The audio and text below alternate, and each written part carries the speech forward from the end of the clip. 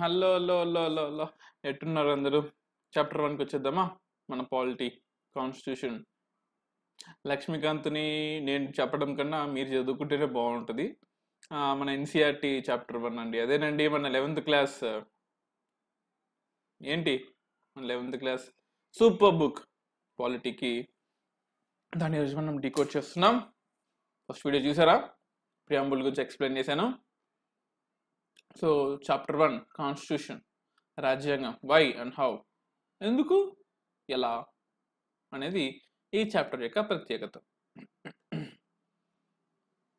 Why do we need a constitution? What is constitution? What are it functions? What role does it perform in society? ఏం చేస్తుంది రాజ్యాంగంలో? For example ఒక మంచి leader ఉన్నాడు. తను ఏం చెప్తే ప్రజలు అది పాటి పాటించేవాళ్ళు. ప్రజల సొమ్ము ఒక రూపాయి కూడా నాకొద్దు అనుకునే లీడరు. అప్పుడు నువ్వే మా రాజు నువ్వే మా దేవుడు నువ్వే మా తోపు నువ్వే మా తురుము అని చెప్పేసి ఆయన్ని మనం పొగడ్డం స్టార్ట్ చేస్తాం. ఆడి తర్వాత ఆడి కొడుకు వచ్చాడు చెప్పు ఆడి కొడుకు వచ్చాడని చెప్పు. ఈడు హౌలాగాడు. ఏ పని చక్కగా చేయడు. మన రా- మన హిస్టరీలో కూడా ఉంది కదా రాజు గొప్పడైతే కొడుకు I mean to say fifteenth century అండి నా ఉద్దేశం. ఫిఫ్టీన్త్ సెంచరీ గురించి చెప్తున్నాను నేను. ఓకే ఇంకేదో కాదు. ఫిఫ్టీన్త్ సిక్స్టీన్త్ సెంచరీలో ఉన్న మొగల్స్ కానీ అందులో ఒకరిద్దరు ఉన్నారు సార్? రాజు గొప్పోడు.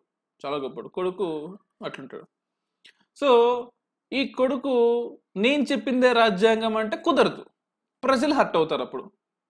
అరే ఏందిరా భయ్? ఒకడు గొప్పోడు ఉన్నాడు ఒకడు ఎదో ఉన్నాడు. అంటే ఒక స్టాండర్డ్ లేదా? రాజు ఏం చెప్తే అంతేనా? రాజు కన్నా గొప్పది రాజ్యాంగం ఉండాలి అని అనుకున్నారు. అని అంబేద్కర్ గారు అనుకున్నారు. డ్రాఫ్టింగ్ కమిటీ అనుకుంది. అప్పుడు అనుకున్నారు సరే ఒక పొలిటికల్ పార్టీ రూల్ చేయకూడదు. ఒక పిఎం రూల్ చేయకూడదు. ఒక సీఎం రూల్ చేయకూడదు. ఒక డిస్ట్రిక్ట్ మెజిస్ట్రేట్ రూల్ చేయకూడదు. ఒక సుప్రీంకోర్టు రూల్ చేయకూడదు. ఒక ultimate power the law of the law of the law. ఈ ల్యాండ్కి లా రాజ్యాంగం అనేది ఒకటి ఉండాలి. సో ఈ రాజ్యాంగం అనే ఒక కన్ఫైన్డ్ పాత్లో ఎవరైనా రావచ్చు ఎవరైనా పోవచ్చు. ఇక్కడ క్యారెక్టర్ ఇంపార్టెంట్ కాదు కాన్స్టిట్యూషన్ ఇంపార్టెంట్ అర్థమవుతుందా చెప్పింది నేను?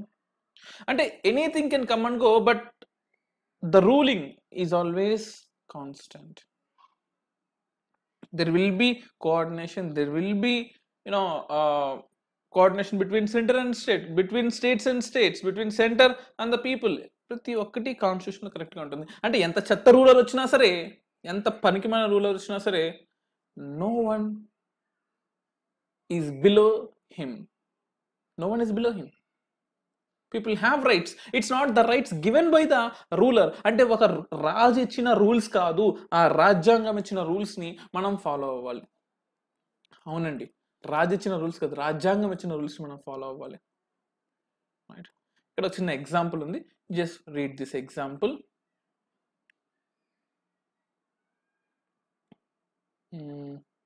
ఈ ఎగ్జాంపుల్ కింద ఎక్స్ప్లెనేషన్ లాగా.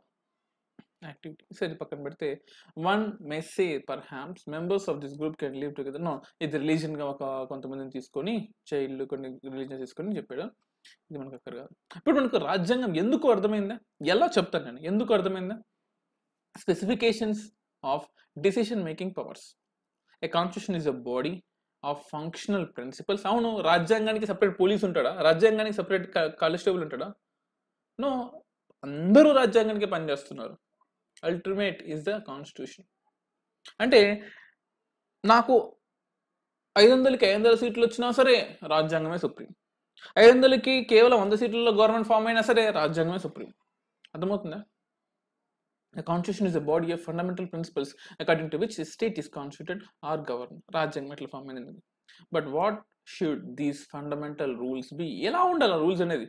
ఆ రూల్ని కూడా వాడే తయారు చేస్తాడా? నో ఒక కమిటీ ఉంటుంది. మన ఇండియాలో అయితే ఒక డ్రాఫ్టింగ్ కమిటీ ఉంటుంది. ఒక మహానుభావుడు ఉన్నాడు తయారు చేశాడు. And what makes them fundamental అదే కొలబద్ద అంటారే. ఫండమెంటల్ని ఎలా నిరూపిస్తావు? ఎలా నిరూపిస్తావు?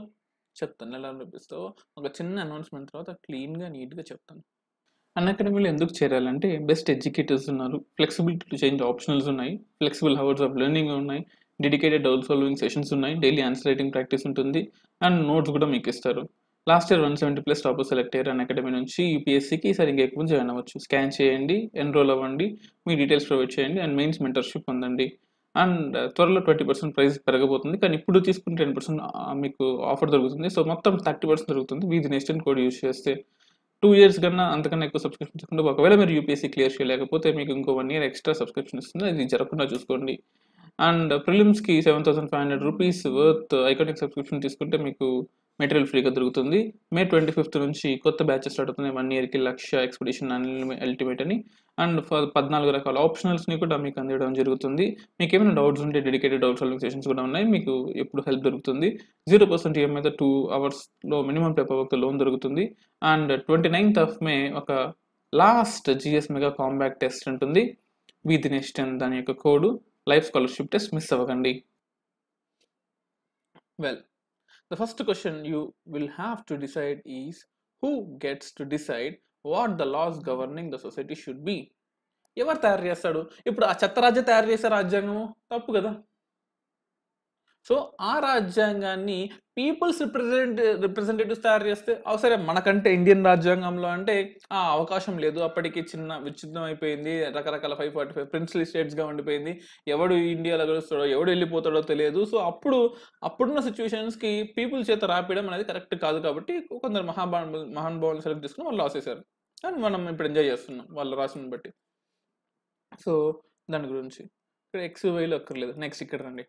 The constitution has to provide an answer to this question it specify the basic allocation of powers in society అది అక్కర్లేదు. It decides it decides who gets to decide what the law will be ఇప్పుడు చట్టం నేను చేస్తాను అంటే లేదు నేను చేస్తాను అంటే వాడు చేస్తాను ఇప్పుడు మన టీవీలో నేను ఎమ్మెల్యే సీట్ ఓడిపోయాను నేను ఎంపీ సీట్ ఓడిపోయాను నాకు ఎమ్మెల్సీ సీట్ ఓడిపోయాను ఏడుస్తుంటారే? ఎందుకు ఏడుస్తుంటారు? నేను ప్రజా సేవను చేయలేకపోతున్నానే అని ఏడుస్తుంటారు కదా?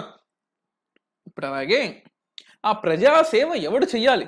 ఆ చట్టాలు ఎవడు చెయ్యాలి అనేది రాజ్యాంగం డిసైడ్ చేస్తుంది చెప్పాలంటే. అర్థమైందా? అది. But in the democratic constitution broadly speaking the people get to decide ఇందాక చెప్పిన కదా పీపుల్ ఆలోచిస్తారు. But this matter is not so simple అమ్మా because even if you answer the people should decide to not answer the question how should people decide sir people చేత elect చేయించుకుంటారు. ఎట్లా? ఒక ఒక పీ పీపుల్లో నుంచి ఒక పది మందిని సెలెక్ట్ చేస్తావా? ఓన్లీ ఉమెన్ని సెలెక్ట్ చేస్తావా? ఓన్లీ పిల్లల్ని సెలెక్ట్ చేస్తావా? లేకపోతే ఉమెన్ పిల్లలు ఎలిమినేట్ చేసి ఓన్లీ మెన్ని సెలెక్ట్ చేస్తావా? ఎట్లా సెలెక్ట్ చేస్తావు? యూనివర్సల్ అడల్ట్ ఫ్రాంచైజ్ ఉండాలి. యూనివర్సల్ అడల్ట్ ఫ్రాంచైజ్ ఉండాలి. అదొకటి ఉండాలి. అది కాకుండా in the Indian Constitution, for example, it is specified that in most instances, Parliament gets to decide the laws and policies. మన పార్లమెంట్కి ఎవరిని పంపిస్తాం? ఎంపీల్ని పంపిస్తాం. కదా? ఆ ఎంపీలు చట్టాలు చేస్తారు. ఇప్పుడు మనం పంపించేది ఎందుకు మాకు సమాజం సమస్య ఏమని కదా? మాకు ఒక చట్టం చేయండి రా బాబు మాకు అందరం ఒక రూల్ అండ్ రెగ్యులేషన్లో ఉంటామని చెప్పడానికి.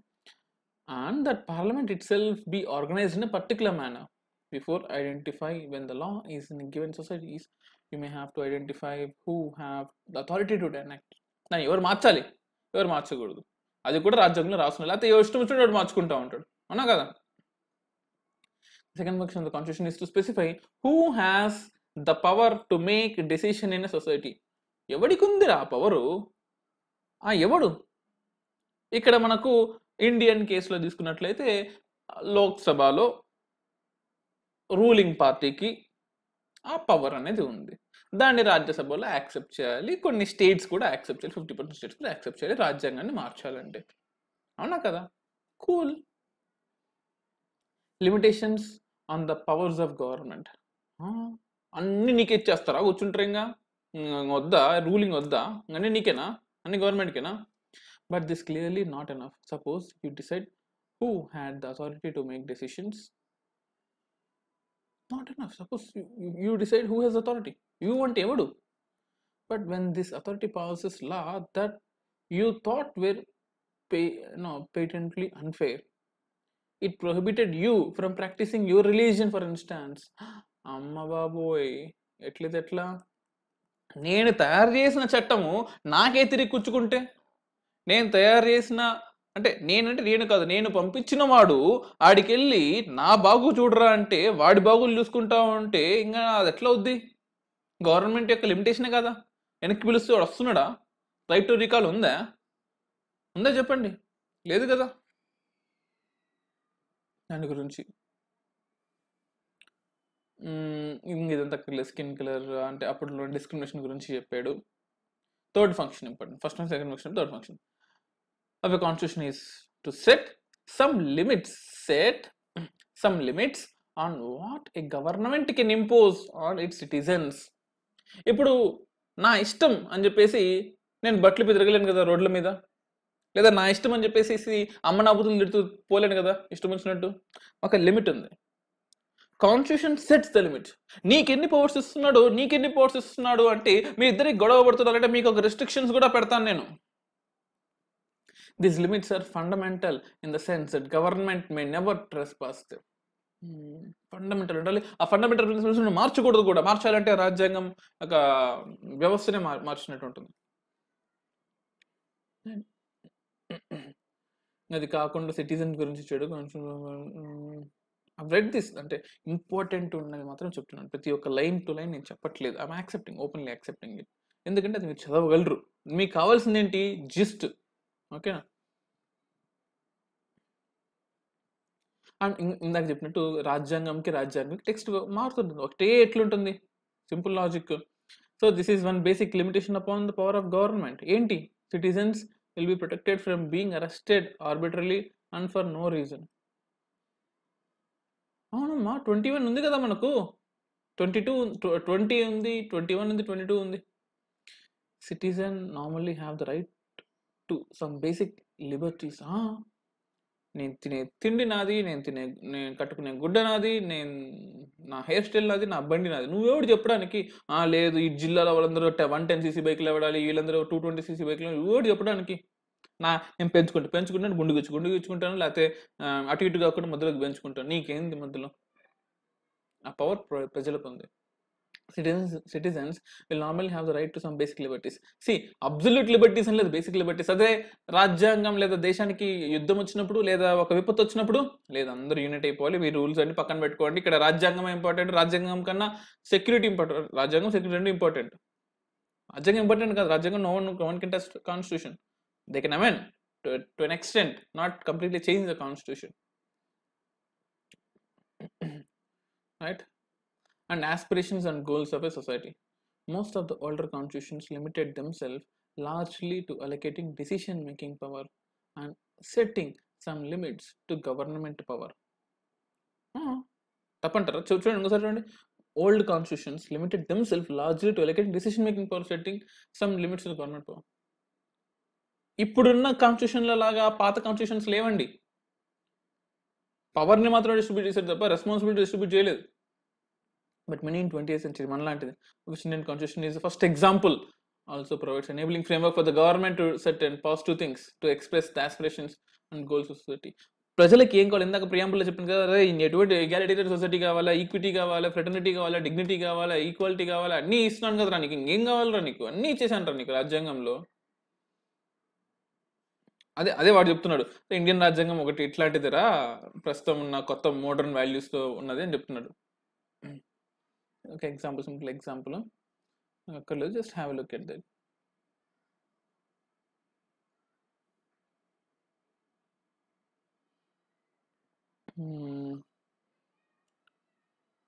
The framers of the Indian Constitution, for example, thought that each individual in a society should have all that is necessary for them to lead a life of minimal dignity and social self respect, minimum material well being, education, etc.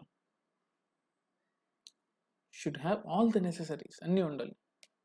Dignity ఉండాలి. Self respect కొంచెం dignity ఉండాలి అని చెప్తున్నాడు. ఇంకా Indian constitution లోపల చదివే కొద్దీ కొత్త కొత్త విషయాలు తెలుస్తూ ఉంటాయి. ఎటువంటి విషయాలు? మీకు ఫస్ట్ చాప్టర్లో చెప్పాను చూసారు? డిగ్నిటీ ఫ్రెటర్నిటీ లేకపోతే ఈ ఎగ్జిక్యూటివ్ జుడిషియరీ వీటి గురించి ఉంటుంది. నెక్స్ట్ ఫోర్త్ ఫంక్షన్కి వద్దాం. Fourth function of the constitution is to enable the government to fulfil the aspirations of a society. ఒక సొసైటీ ఏమనుకుంటుంది? నేను పైకి ఎదగాలనుకుంటుంది. నాకు లిబర్టీ కావాలనుకుంటుంది. నాకు ఫ్రీడమ్ రావాలనుకుంటుంది. నేను ఇష్టం వచ్చింది చదవాలనుకుంటుంది. నేను దేశానికి హెల్ప్ చేయాలనుకుంటుంది. నేను వేరే దేశం పోవాలనుకుంటుంది. ఈ లిబర్టీస్ అన్నింటినీ కూడా రాజ్యాంగం నెరవేరుస్తుంది. ఫ్రెటర్నిటీ ఉంది కదా? ఉందా లేదా? ప్రియాంబుల్ ఓపెన్ చేయండి ఒకసారి. ప్రియాంబుల్ ఓపెన్ చేయండి. Do have liberty? లిబర్టీ ఉంటేనే కదా ఏమైనా ఆలోచించేది నీకు? Enabling provisions of the constitution South ఆఫ్రికాది చెప్పాడు. మనకు అక్కర్లేదు. Fundamental fundamental identity of the people ఇది అక్కర్లేదు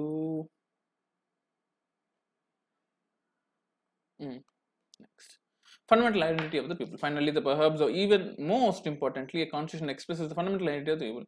రాజ్యాంగం ఏందయ్యా పీపులే? దేశం అంటే మట్టి కాదు దేశం అంటే మనుషులోయ్. రాజ్యాంగం అన్నా మనుషులోయ్. రాజ్యాంగం అంటే బౌండరీస్ ఎంటిటీస్ కాదు.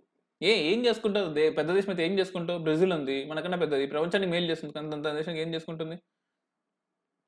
సో ఫారెస్ట్ మంచిదే కాదని చెప్పిన. నా ఉద్దేశం అది కాదండి. అట్లా తప్పుగా అర్థం చేసుకోవద్దు. పెద్ద దేశం మాత్రం రష్యా ఉంది. మనకన్నా పెద్దది. ప్రజలకు ఏం చేస్తుంది? మొత్తం ఐసే కదా? మెంటల్స్ ఇస్తుందా? లేదు. టైం పడుతుంది ఇంకా బట్ లేదు కదా? Means people are collective entity come coming in one being grow basic constitution ప్రజలందరూ ఒకటే అని చెప్తుంది. రైట్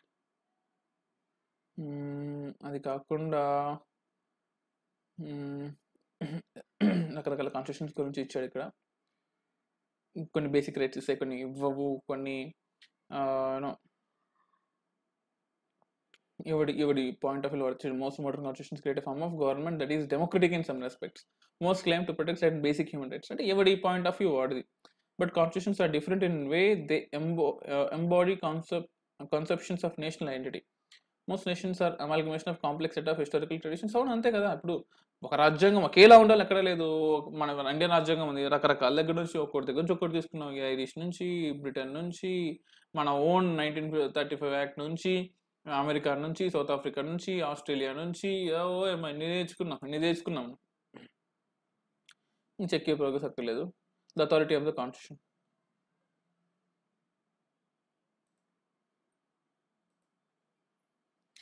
ఈ అథారిటీ ఆఫ్ ద కాన్స్టిట్యూషన్ని పార్ట్ టూగా చెప్తాను. ఎందుకంటే ఇప్పటికి వీడియో లెంత్ ఎక్కువైంది.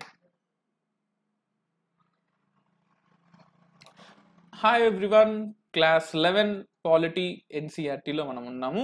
అందులో ఫస్ట్ చాప్టర్లో పార్ట్ టూ అనమాట పెద్ద చాప్టర్ కదా వినండి తప్పేముంది ఇందులో పదో పేజ్ దగ్గర ఉన్నాం. The authority of the constitution అరే ఈ కాన్స్టిట్యూషన్కి ఏం అథారిటీ ఉందిరా భయ్ ఆడు చెప్తే నేను వినాలా? అవును. ఆ రాజ్యాంగం అనేది నీ కోసం చేసిందే నీలాంటి నూట ముప్పై ఐదు కోట్ల కోసం చేసిందే తర్వాత అది రెండు వందల ముప్పై ఐదు కోట్లు అవుతాయో నాకు లేదు వాళ్ళ కోసం చేసిందే రాజ్యాంగం. చెప్తే వినాలి. రాజ్యాంగానికి వినకపోతే ఎవడికి వింటావు నువ్వు? ఆ ప్రెసిడెంటే రాజ్యాంగం నుంచి వచ్చాడు ఆ ప్రైమ్ మినిస్టరే రాజ్యాంగం నుంచి వచ్చాడు ఆ డిస్ట్రిక్ట్ కలెక్టర్ రాజ్యాంగం నుంచి వచ్చాడు ఆ పీపుల్ సిటిజన్ నువ్వు రాజ్యాంగం నుంచి వచ్చావు. నువ్వు వచ్చిందని నువ్వు కించపరుస్తావా? ఆ దమ్ముందా నీకు? We have outlined some of the functions of the constitution performs. These functions by why most societies have a constitution. But But there are three further questions we can ask about constitutions. ఏంటంట what is a constitution రాజ్యాంగం అంటే ఇప్పుడు చూస్తున్నాం కదా how effective is a constitution ఇండియాలో మాత్రం పక్కా effective గవర్నమెంట్లు కూలిపోకుండా చెత్త గవర్నమెంట్లు తీసేసే విధంగా రాజ్యాంగం నడుచుకుంటుంది. Is constitution just it's more than just అదొక బుక్ కాదు అదొక శక్తి. In most countries, constitution is compact document that comprises number of articles about the state. Raj అంటే మిగతా అన్ని దేశాల్లో స్టేట్ అంటే కంట్రీలు ఏముంటున్నవి ఆ కంట్రీ ఎలా బతకాలి ఎలా ఉంటుంది ఎలా ఫాలో అవ్వాలి at the same time for example some countries ఒక ఎగ్జాంపుల్ తీసుకున్నాడు యూకే తీసుకున్నాడు do not have one single document that can be called constitution అదే they have series of documents and decisions that taken collectively are refer to as constitution మనకు అట్లా కాదు. గవర్నమెంట్లు ఇప్పుడు మనకు వాళ్ళకేంటి? ఒక హెరిడేటరీ వస్తూనే ఉన్నాడు వస్తూనే ఉంది వస్తూనే ఉంది వస్తుంది next generation next generation next generation మనకు అట్లా కాదు కదా? మనకు అట్లా కాదు? కదా పిఎం మారుతాడు ప్రెసిడెంట్ మారుతాడు. పిఎం మారుతాడు ప్రెసిడెంట్ మారుతాడు. సీఎం మారుతాడు గవర్నర్ మారుతాడు. అలాంటప్పుడు వాళ్ళు చెప్పిందే రాజ్యాంగం ఎట్లా అనుకుంటావు వాళ్ళకి మించి ఉండాలి కదా నువ్వు?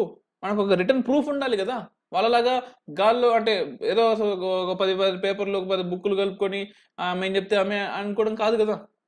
India is much powerful than any other country in terms of constitution but many constitutions around the world exist only on paper they are mere words existing on parliament the crucial question is how effective is the constitution India is hundred percent effective ఇదైతే పక్కా బల్ల గుద్దు చెప్పగలను. Mode of question this refers to a constitution comes into be who crafted the constitution and how much authority did they have doubt వస్తుంది కదా ఎవరు చేశారు constitution వాళ్ళకి ఏ అథారిటీ ఉంది in many countries constitution remains defunct because they are crafted by military leaders or leaders who are not popular and do not have the ability to carry the people with them కానీ మన రాజ్యాంగం అలా కాదు కదా freedom స్ట్రగుల్లో ఎంతో మంది చనిపోయిన తర్వాత ఒక డ్రా అంటే ఎంతోమంది సాక్రిఫైస్ చేసిన తర్వాత మిగిలిన వాళ్ళు ఈ దేశంలో ఇంకెప్పుడు ఇటువంటివి జరగకూడదని ఎవడు ఆధిపత్యం ఉండకూడదని ప్రైవేటైజేషన్ సోషలైజేషన్ అన్ని రకరకాల ప్రైవేటైజేషన్ అవ్వట్లేదు. బట్ అన్నీ అనుకొని ఒక స్ట్రక్చర్డ్ ఫామ్ చేసుకొని ఒక కాన్స్టిట్యూన్ అసెంబ్లీ ఫామ్ చేసుకొని దాని నుంచి ఒక డ్రాఫ్టింగ్ కమిటీని ఫామ్ చేసుకొని అంతా మనకు మనం ఇచ్చుకొని తయారు చేసుకున్నాం. వీళ్ళలా కాదు. ఇండియన్ కాన్స్టిట్యూషన్ వచ్చి పవర్ఫుల్ మోడ్ ఆఫ్ ప్రామల్గేషన్ చాలా మంచిది. ఇండియన్ సొసైటీ చూడండి. Nineteen forty six nine forty nine drew up a long history of nationalist movement that has remarkable ability to take different sections of Indian society together అందరి decisions మనం తీసుకున్నాం తెలుసా? ఏదో వాళ్ళ ఆరేడు మంది కూర్చొని చేయలేదండి. అందరి డెసిషన్స్ తీసుకున్నాం. అది.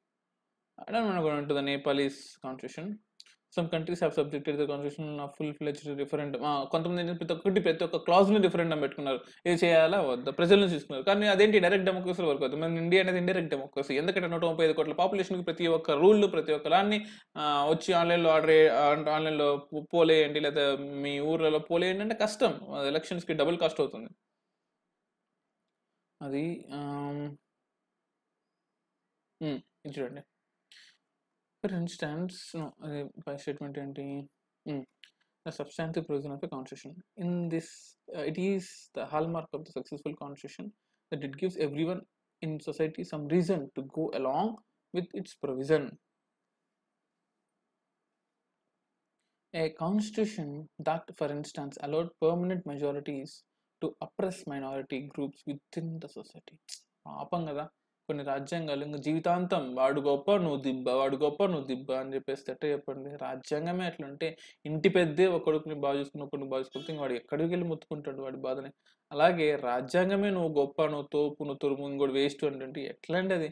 The constitution that systematically privilege some members of the some members at expense of others అది కూడా తప్పే కదండి. చాలా తప్పు కదా ఒకటి కోసం ఒకరిని చేయడం. ఆ systematically entrench the power of small groups in society కూడా వద్దు మనకు. But ceases to command allegiance in any if any group feels that identity is being stifled they will have no reason to abide by the constitution కదా? ఒక గ్రూప్ని ఇప్పుడు శ్రీలంక కేసే తీసుకున్నాం Afghanistan case తీసుకున్నాం అంత డిప్రెషన్లోకి వెళ్ళిపోతే వాళ్ళు రాజ్యాంగాన్ని ఫాలో అవ్వాలా వద్దా అనే స్టేజ్లో కూడా వెళ్ళిపోతారు.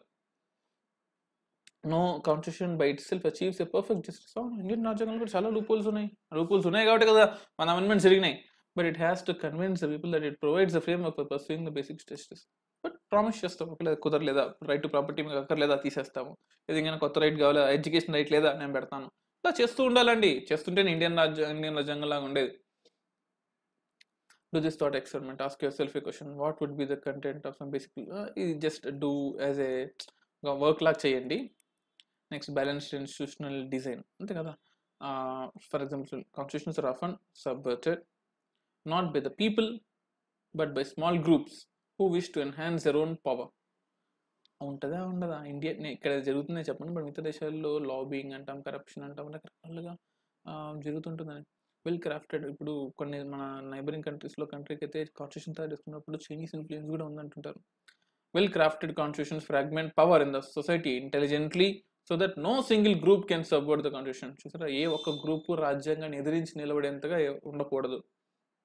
One be such intelligent decision cost making monopoly power ఇదంతా ఓకే. ఎగ్జిక్యూటివ్ జుడిషియల్ లెజిస్లేటివ్ అనే మూడు వింగులు ఉంటే ఆ మూడు వింగులకి ఈ పవర్ అనేది ఈక్వల్గా డిస్ట్రిబ్యూట్ అయితే ఒకరి మీద ఒకరు గుత్తాధిపత్యం జరగకుండా జరుగుతుంది. డిస్ట్రిబ్యూషన్ ఆఫ్ పవర్స్ ఉండాలి అని చెప్పేసి ఇక్కడ చెప్పాడు. Another important aspects of intelligent institutional design is that constitution must strike right balance between set and values norms procedures మీద. ఒక పర్ఫెక్ట్ ఇది ఉండాలి అని చెప్పారు.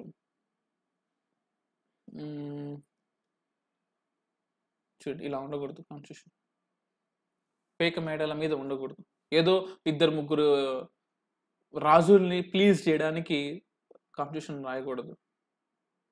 ఇద్దరు మినిస్టర్లు చెప్పారని కాన్స్టిట్యూషన్ రాయకూడదు. It's to be rigid it's to be flexible if it it is not rigid ఎవడైనా దాన్ని డిస్టర్బ్ చేయొచ్చు. ఇట్ ఈస్ నాట్ ఫ్లెక్సిబుల్ పాపం అందరి మనోభావాలు దానిలో మార్చుకునే అవకాశం ఉండదు. రెండూ ఉండాలి. How was the Indian constitution made ఇదే కదా. ఇదే కదా మన నెక్స్ట్ తొమ్మిది చాప్టర్లలో చెప్పుకునేది. దా దీన్నే డీటెయిల్డ్గా ఎలాబరేట్ చేస్తానండి. ప్రొసీజర్స్ ఎలా జరిగాయి.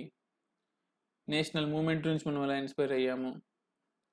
ఇన్స్టిట్యూషనల్ అరేంజ్మెంట్స్ ఎలా ఉన్నాయి. అంటే నా ఉద్దేశం డ్రాఫ్టింగ్ కమిటీ దగ్గర నుంచి ఇప్పుడున్న కాన్స్టిట్యూషనల్ నాన్ కాన్స్టిట్యూషనల్ బాడీస్ వరకు అని ఎలా ఉన్నాయి. చూడండి. బ్రిటిష్ కాన్స్టిట్యూషన్ చేంజ్ తీసుకున్నాం? అమెరికన్ చేంజ్ తీసుకున్నాం? ఫ్రెంచ్ నుంచి ఏం తీసుకున్నాం? కెనడియన్ నుంచి యుఎస్ నుంచి ఏం తీసుకున్నాం? ఇది conclusion conclusion don't need to play just read the conclusion ఇది ఈ టూ పేజెస్ని ఈ టూ పేజెస్ మిగతా తొమ్మిది చాప్టర్లు అంతా అండి. ఓకేనా సో చలో మనం డీటెయిల్గా మిగతా చాప్టర్స్ అన్నిటిని మంచిగా డిస్కస్ చేసుకుందాం. అండ్ యూపీఎస్సీ రేడియోకి పాడ్కాస్ట్ కూడా రెడీ అవుతుంది. సో మళ్ళీ కలుద్దాం. Thank you